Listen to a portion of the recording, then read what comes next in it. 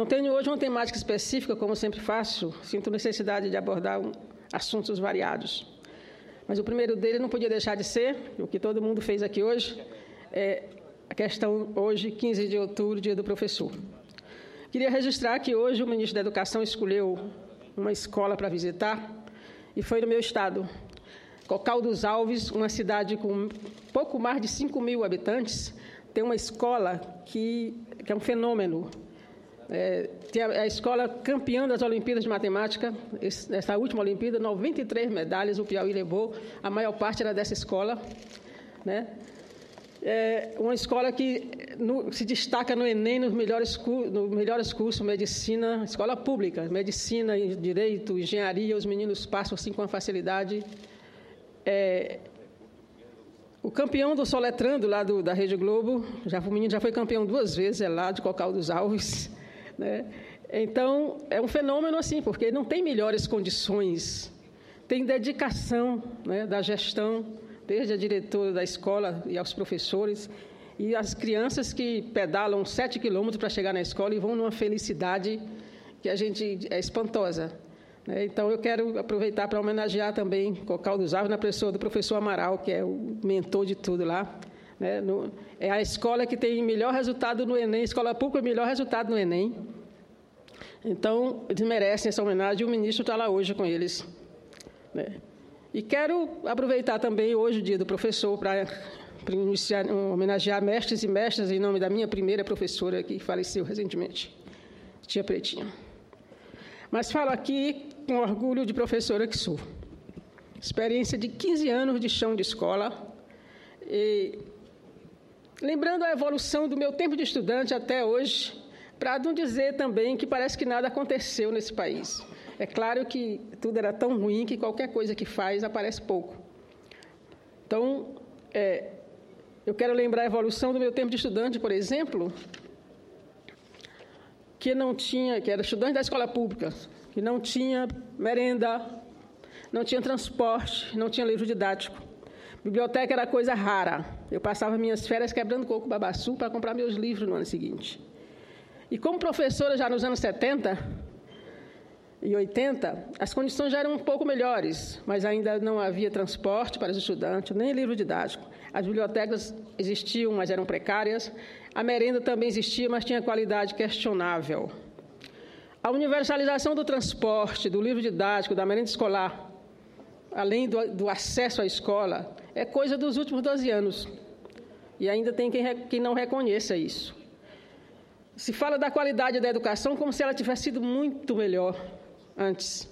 E a gente sabe que não foi. Nem os salários dos professores, porque eu também professora, sei o salário que eu ganhava nos anos 70. Né? É, não vou falar das universidades, dos, dos institutos federais, que também foi um avanço muito grande. Eu só quero dizer que a gente não pode também jogar tudo na lata do lixo. Tem conquistas, sim, a gente tem que comemorar.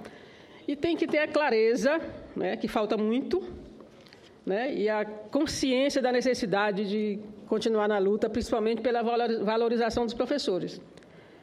Temos o PNE, vamos cumpri-lo. Não mexer nos royalties do petróleo é um bom caminho.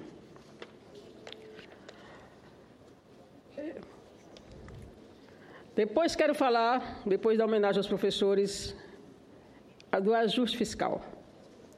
Muito barulho tem sido feito em relação ao ajuste fiscal para fechar o orçamento com, que veio com déficit. Aliás, li em alguns jornais que alguns governadores estão encaminhando seus orçamentos também com déficit. Talvez para chocar os outros poderes, que simplesmente encaminham seus percentuais orçamentários baseados em receitas nem sempre realizáveis.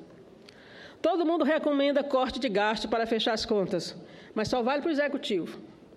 E eu pergunto: qual é a contribuição desta casa? Onde vamos cortar gastos? No Senado.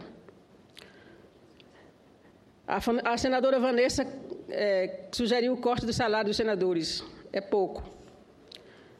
Deve haver, e há lugares onde a gente pode cortar, é só gente fazer um, uma equipe aí para ver onde se pode é, cortar gasto no Senado.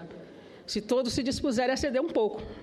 A gente tem carro, tablet, telefone, verba de gabinete. Onde cortar? Estamos dispostos? Da minha parte, topo o que vier. Outro corte possível de gasto, e também em nome da natureza, que eu peço que reveja a chamada mídia impressa que chega em nossas casas pela manhã, todo dia, quando já temos lido notícias na internet. Todas as notícias a gente já tem lido na internet. Eu calculo que são pelo menos de 15 a 20 resmas de papel por dia. Então, se cortar isso, a natureza e o contribuinte também vão agradecer. A Câmara dos Deputados e os outros poderes também precisam se manifestar. Não podem só gastar e mandar a conta. Também não pode ficar reverberando, reverberando que o executivo gasta muito. Chamam gasto as despesas do Bolsa Família, do Minha Casa Minha Vida, do ProUni, do Pronatec, das políticas públicas para as mulheres, para a igualdade racial, para os direitos humanos. Nós chamamos isso de investimento. Isso é investir nas pessoas. Fica o desafio. Vamos cortar gastos em todas as esferas, em todos os poderes. Também é verdade que há fontes para buscar mais recursos. A caça, a caça aos sonegadores, por exemplo. Mas como cobrar se há uma campanha anti-imposto? Presenciei um diálogo entre estudantes e entrei na conversa. Eles diziam, repetiam que o brasileiro paga muito imposto e não tem retorno. Eu perguntei onde estudavam e responderam que na Universidade Federal do Piauí. Perguntei quanto pagavam disseram, nada, a, universidade é pública. Aí eu retruquei, está aí o retorno de vocês. Estão tendo retorno, sim. É certo que a carga tributária é alta. Se não tivesse sonegação, ela seria menor. Todo mundo fala do impostômetro, todo dia exibem, mas tem o sonegômetro também, da mesma forma, e mostra quanto é sonegado nesse país a cada dia. E o sonegador não é o cidadão comum. O sonegador é o que recebe o imposto do cidadão e não repassa ao tesouro e ele nem se acha corrupto. Assisti na TV Senado uma sessão da CPI do CARF.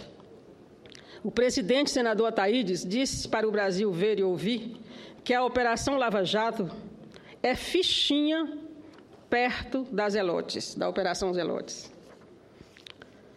Eu pergunto, quem está preso? Houve delação premiada? Claro que não. Falta encontrar um petista lá. Por fim, quero falar, comentar a palavra da moda, pedalada.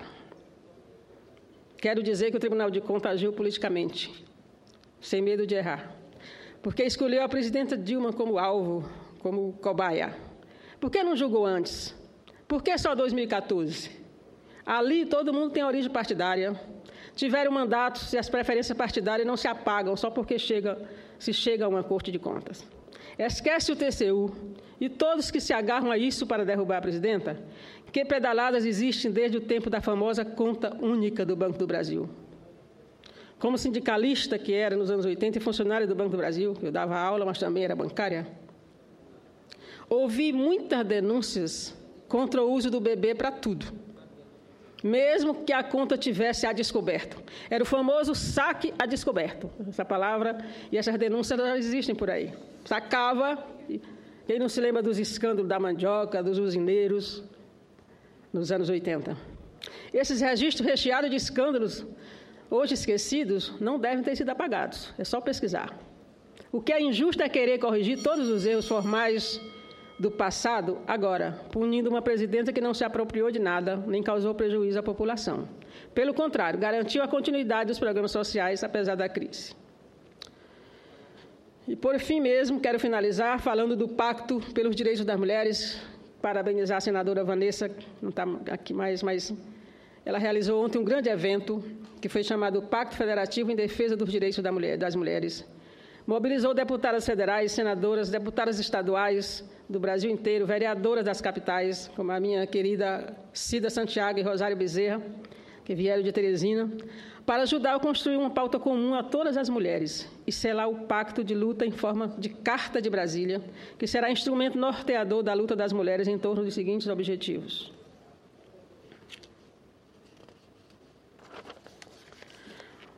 Primeiro, o empenho na votação pela aprovação da PEC do, na Câmara do Deputado, que, que estabelece as cotas para as mulheres nos parlamentos.